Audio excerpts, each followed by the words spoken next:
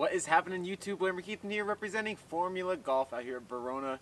Getting ready to do some practicing in, but before I do that I want to answer some of the questions you guys left me in my most recent video. I'm going to go through them. I, I haven't really given them uh, much thought as I've looked, so this is kind of on the fly. So I'm going to gonna go through it starting with the very first one. What kind of music do you like? Um, I like a decent amount of music. Uh, certain music I listen to maybe when I practice be a little bit different. I, I listen to a lot of classical music when I practice. Uh, I like Bach, I like Mozart. But my favorite my favorite musician, his name is Sufjan Stevens. Uh, I, someone I've liked since I was in high schoolish or so, and then uh, and I've grown to just like more and more as I've gotten older, which is a which is not something that normally happens when you listen to certain musicians. So Sufjan Stevens is my guy. That's the kind of music I listen to more so than anything. The most amount of money I have ever won from an individual golf tournament is actually $4,000 and I won it. Eh, I know it's not that much, but most mini tour events you're not going to get more than $4,000. It was actually a one day a one day event, so that was nice. And then I ended up buying a car right after that. I was in my my early 20s, and uh, it actually really helped me out big time. I I had missed getting into the Monday qualifier for Farmers Insurance Open by one shot, and I went and I was all bummed out because I doubled the last hole to miss it by one shot. And I went back to my car, and there was like a note for this up and coming tour that was left on all all the, the windshields of the cars. And so I took a look at that, and the money I would have spent towards the Monday qualifier was spent towards that, and I went out and won. And then I won the following week after that too. So that really actually helped me out big time because I did not have a car at that point. So that was pretty sweet. Noah Dawson writes, "What golfer has inspired you most?" Obviously, it's going to be Tiger Woods because I probably never would have started playing golf if not for Tiger Woods. I, my earliest memory of watching golf was when I was seven years old, maybe or eight, and Tiger won the '97 Masters. And then uh, a couple years after that, I picked up my first club when I was nine, and I didn't play my first round of golf until I was 11. And watching Tiger win the U.S. Open by 15 changed the whole game for me. I just thought I wanted to be just like that guy. But other motivators of mine was uh, growing up, especially was Lee Elder and Calvin Peete, two childhood heroes of mine, and very specifically childhood heroes of my dad. Um, many of you might not know this, but my dad is black, and he's at, he if he was still alive, he would have been in his early 70s, and he had a dream of being a professional golfer, but at the time that he was growing up, they didn't allow him to play a lot of golf courses. He made it into sectionals of the U.S. Open, I believe, in the like 1960 or something like that, and he was like 12 years old, and I don't think he was allowed to play in that one. So he always was talk about Lee Elder about uh, you know how great of a person he was, and I happened to meet Lee Elder when I was a little kid at the Hodges Golf Driving Range in Escondido, and uh, ever, ever since then I, have kind of been on and off seeing him and talking to him over the years, and uh, just the nicest, classiest guy. So Tiger Woods, Calvin Peete, and Lee Elder were my guys that inspired me for golf. Here's Vincent asked, how much time do you spend practicing a week and do you work out to help your game at all? I spend virtually every day practicing. Uh, I mean, I guess you can call it virtually. Five to six days a week, I'll practice in some form or another, practice or play. I work out three or four times a week. I try to go every other day to kind of give your body a little bit of a break and then go on to the next one. And uh, I don't do anything too hard on days that I'm going from the gym straight to practice, but I mainly work on flexibility. I can't gain weight no matter what I try to do, so staying flexible is the number one thing for me right now. DH asks, any tip for a fellow skinny guy at 130 pound, 35 pounds, increasing club head speed? Just maximize your rotation and maximize your flexibility. You know, I'm assuming since you're skinny and relatively tall, I'm only 138 pounds, so I know your pain of being in the 130s. Um, you know, work on a lot of core strength if you can. Go out to the gym. You know, you, your chances are you're not going to bulk up until a later age anyway. So work on flexibility and work on proper rotation you know, making sure that right hip stays high as you turn is really important for skinny players to get as much out of their frame as possible. Hamilton McNaughton asks, I have a question that I have been wanting to ask for a while and I was wondering if you could help me. Is it worth it to pay the upcharge for Shaft's new driver? I play the 917D3 with the Diamana Blue Board 60X. My numbers are good. But from your experience, is it worth to pay up for an upcharge shaft and will it improve your overall game?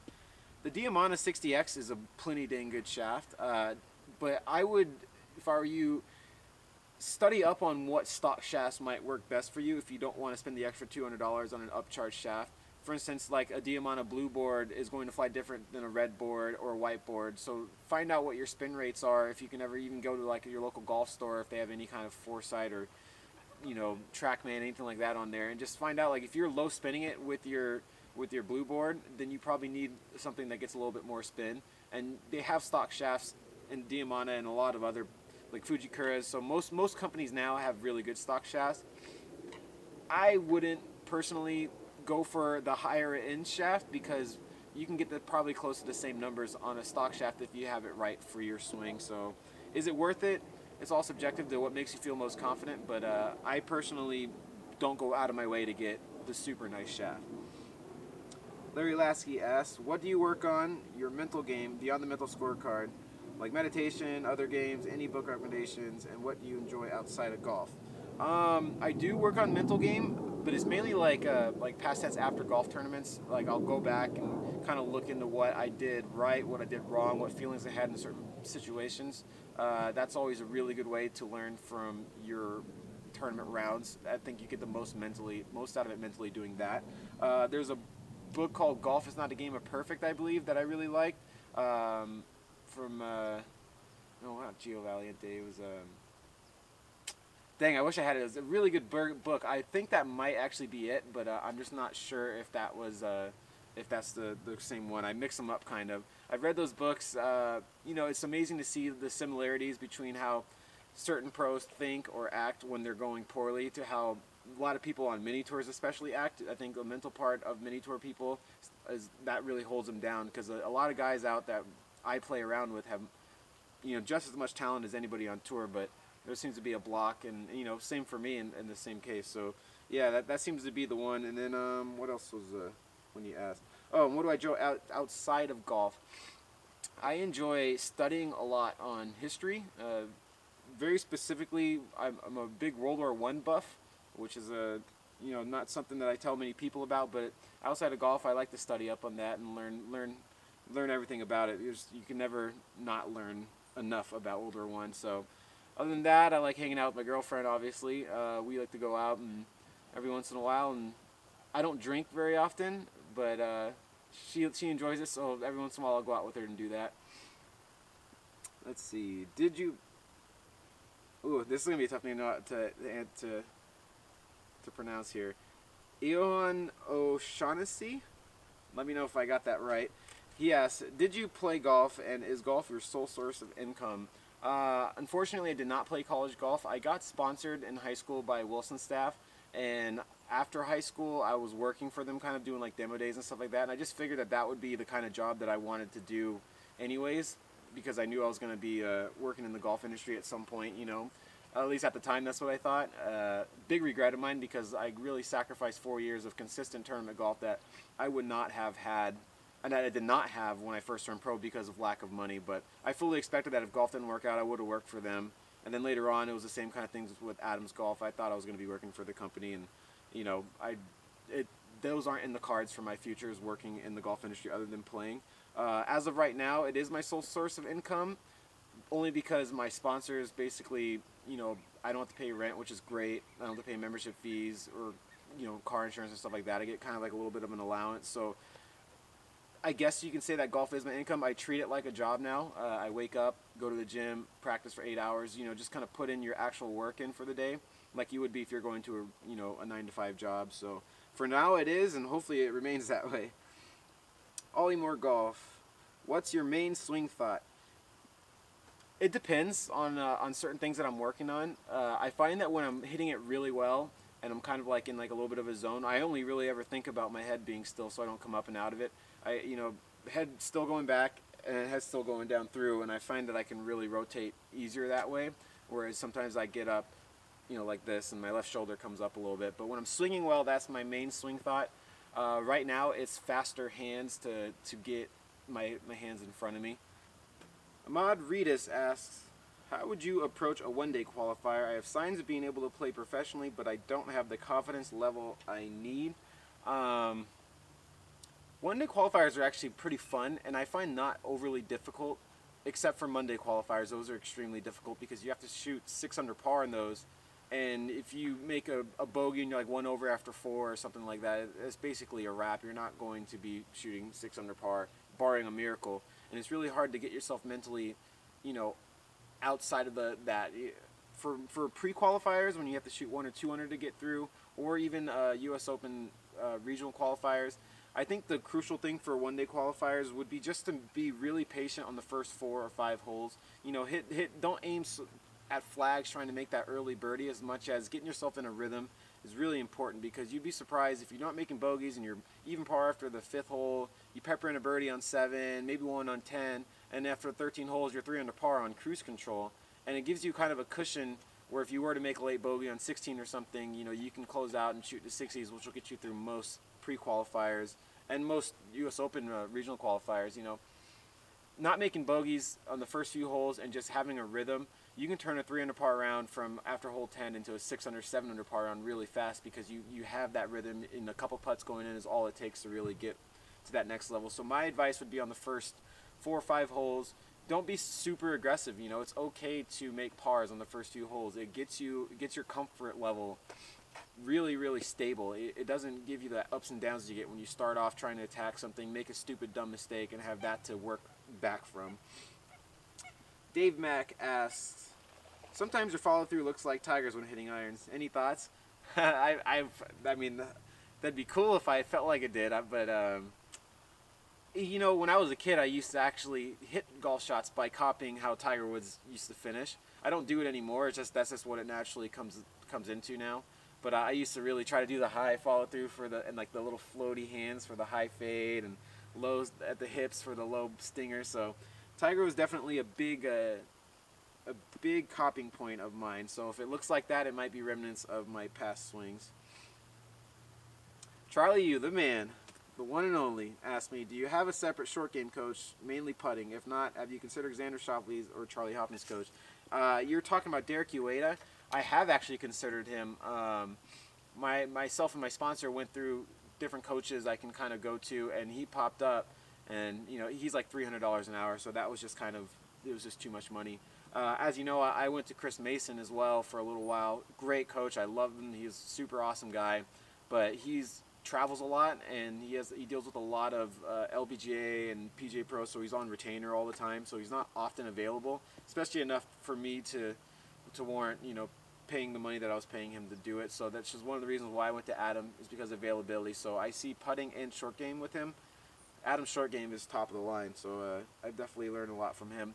But I also pick up a lot of short game knowledge from guys like Sam Chen and you know it, Todd Beck. It really helps to just watch and pick their brains a lot too.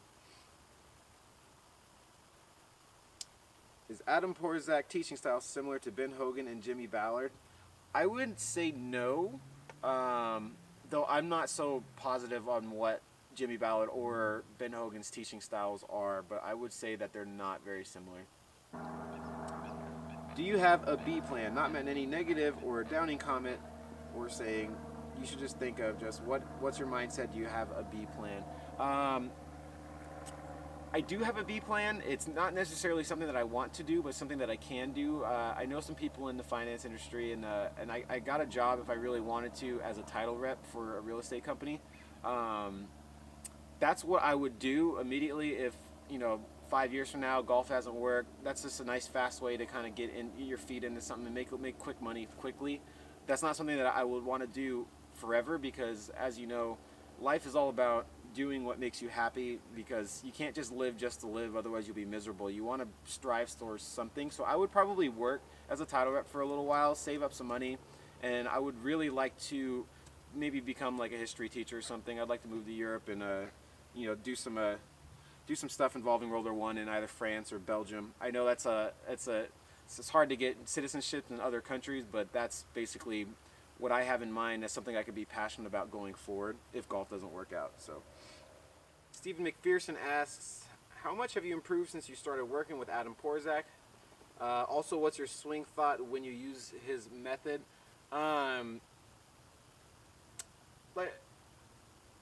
I would say I improved a lot under Adam, uh, like big time, uh, because the the times when when things are going bad in golf tournaments, when, when you're you're feeling like you're stuck or you're swinging it poorly and you're hit, you're spraying it all over the place, it can really get away from you if you don't know what pieces need to be put back together in order for you to execute and hit a proper golf shot. So under Adam, I've been able to kind of self-diagnose the problems a lot faster. So my rounds that could be two or three over are now one under, two under, even par. Uh, you know, and that's a really important thing under Adam. Uh, so the swing thoughts I have basically is just get the club in front of you, front of your body, and then turn, and uh, that's that's pretty much it. You know, it's not. I'm not trying to manipulate anything to get that turn. It's just, but that is a swing thought. Make sure I get the club in front of my body, in whatever field possible.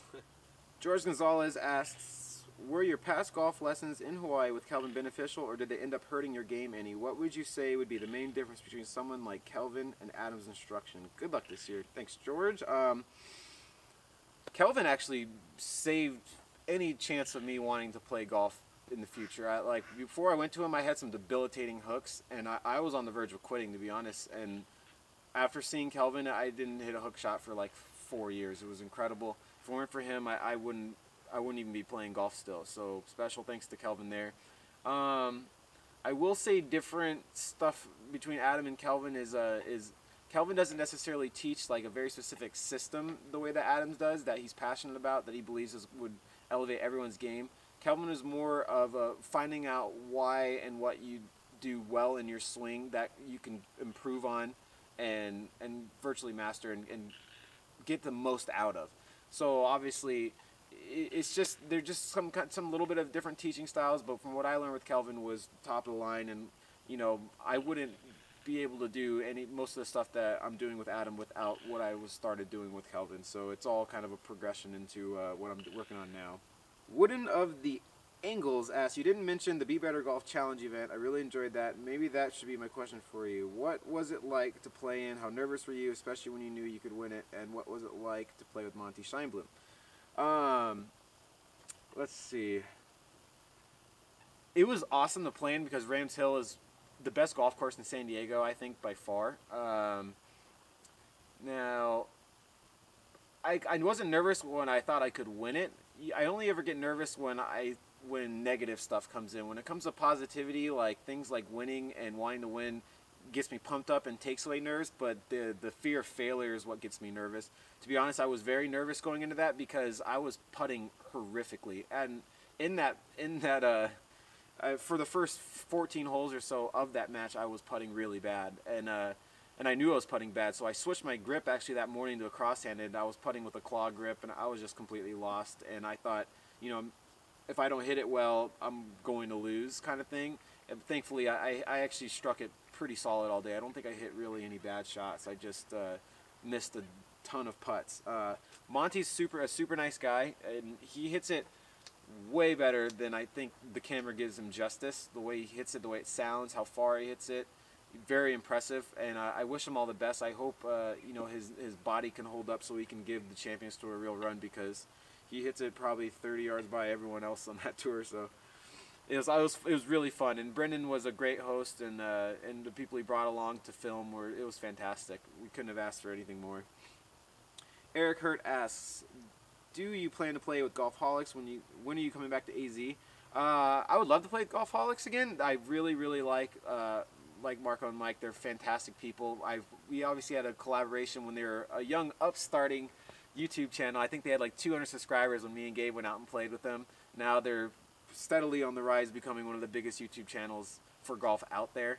Uh, which makes it probably a little bit more difficult for me to get in with them. They probably have a lot of a, a, a nice schedule lined up with a lot of other people and other collaborations. But I'd love to get out there again with them. I'd love to have them come out to Steele Canyon because I think their drone shots will look really cool out at my home course. Uh, and I'll be in Arizona actually uh, I think next month in February. Uh, Gabe is moving back out there uh, to film more videos, actually, more golf stuff in just a couple weeks. So I'll be out there a lot more often. I got my really good friend Tim Collins out there who's been featured in a few of my videos. Really become a really good friend of mine, someone who's reached out to me and asked for lessons. And, you know, my girlfriend goes to school at NAU up in Flagstaff, so it works out to stop halfway. And he's just become a really good friend of mine through the years. So I'm always down to go visit him, and I'll be sure to film. So I'll be out there in February sometime. Chris Baker asks, ah, I hope I can play your home course in Barracuda. That'd be sweet. Uh, were you always unnaturally long as a kid, or did your swing develop over time, harnessing more and more power? Also, how old were you when you shot your first round under par? Um, I was actually unnaturally long my whole life, which is kind of a, a weird thing. I don't know exactly how I did it. I played baseball before I ever played golf, uh, you know, so I think a lot of that got incorporated with my golf swing. And uh, if you've seen a lot of Kelvin's videos, you know, the way baseball players rotate can really help with golf. And so I think that I, that really helped me out. Um, my first round under par was when I was 12 and I birdied my last five holes at Eagle Crest to shoot 69 and it was in the rain and I'll never forget it because the course was pretty much closed. I used to love going out when I was a kid because I had no money so I'd get dropped off when it rained and sneak out. But one of the cart guys was nice enough to actually give me a cart so that was really fun because uh, that was the first time I ever drove a golf cart and uh, I went and drove a golf cart and I finished off one incredible round and that was the first time I shot under par, first round in the 60s and I, I want to say I didn't shoot in the 60s again until I was like 14 or something like that. Matthew Bowen asks, was there a big jump from being an amateur to to a professional in the skill level of people we played with? Uh, yes, most definitely. When I was in high school, uh, I was in a really bad league. I was in like a Division Four school. I went to a charter school the two years I played high school golf, and uh, they weren't the best kids. Like we weren't playing against like Torrey Pines High and stuff like that. So obviously in CIF, when you get there, a lot of kids, you know, like Rickie Fowler was winning CIF that that those years, and a lot of really good players that made really nice careers for themselves. But the people I mainly played with as an amateur was they, you know, they were just normal kids, and so when I turned professional, playing with people who can shoot 65 was, I wouldn't say like a big shock, but definitely, uh, you know, you definitely you got realize you got to step up your game. Miguel Lee says, "Do you have a player that you model your swing or playing style after?" I do not. When I was a kid, I, tr- I tried to pretend I was Tiger Woods, and um, you know my swing never looked like Tiger Woods at any point ever. And you know there, there's different feels that that you see on TV when I growing up. Like I remember when McIlroy was coming out in like 2011, I was like, oh maybe if I turn more going back and make sure I turn all the way going through, I'll play. You know that looks really good. And honestly, I played really good, really really well at that point in time for a while. I was winning tournaments and shooting course records and stuff. But you know, those swing thoughts are all fleeting. You know, in the end, like how you model your swing after somebody, you're not gonna be able to do it forever. And in the end, you have to own your own swing, which is where I'm at right now. And let's see. And Roy Lieb I think this is going to be my last question actually. Are you someone with natural golf talent or did you have to start from ground zero in developing your abilities? Along the way, were you any major breakthroughs, breaking 80, getting the scratch, etc.? Kind of uh, goes back to one of the questions I answered about my first under par round. Uh, I was lucky enough to, when I started hitting golf shots on the range, I was able to actually start hitting golf shots like, like pretty fast. Like I wasn't topping it or shanking it. I was able to hit. Uh, my family's pretty coordinated, so I think that uh, that's just it just worked out that way and because I was able to hit golf shots, I was able to really, you know, get that bug like that makes you want to work really hard right afterwards. The breakthroughs when I was 11, I played the Vineyard and I shot 75, and that was my first round in the 70s. And before that, I you know my lowest round was in the mid 80s somewhere like 85 or something like that. That same year, I, I jumped like really far from like an 85 to 75, and then you know, the rest is kind of history from there. I was one of the, the kids who got to scratch, I want to say, pretty early because I didn't start playing golf until I was 11. But I really jumped into shooting in the 70s probably that same year down to 12 and then started getting more and more under par as I got into my teenage years. And then obviously I shot some really good scores in my mid teens. And then, uh, yeah, I mean, and then I thought I was the world beater, and I was got to about 22 or 23, still shooting those scores, and then I lost it for a good year and a half. Went to a, a coach that kind of uh, really, I didn't understand what he was teaching. I don't think he was a bad coach as much as I did not know how to implement any kind of swing changes. I was such like a feel player that that just completely eliminated my game getting into technicality stuff. So I lost it. I was shooting in the mid 70s for a good year and a half, two years, and then I went to go see Kelvin and I've been on the up and up ever since and uh, really excited to look forward to the future. Like I said in my last video, 2019 is going to be a crazy big year and uh, I really do appreciate all the support from all the viewers for Formula Golf who supported me with the channel and outside of the channel throughout this last year. It's been crazy to think that uh, that the channel's already been around for that long, but uh, we're looking forward to many more. I'll be sure to keep filming. It, they won't be as regular as always, but I promise you that I will keep posting and I promise you I will keep grinding just the same as I hope all of you do. Take it easy, everybody. Be sure to hit me up, follow me on Instagram, like this video, comment, and I'll answer any other questions I can, just not in front of a camera. All right, guys, remember, keep on grinding.